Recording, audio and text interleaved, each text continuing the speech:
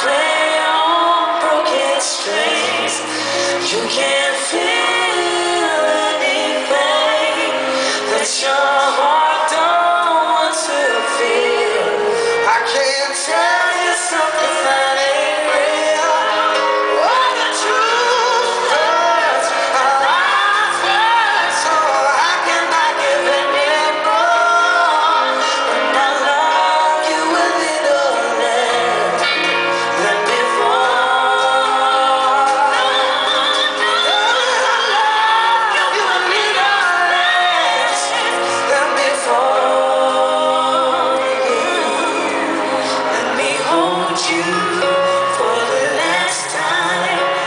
The last chance to feel again.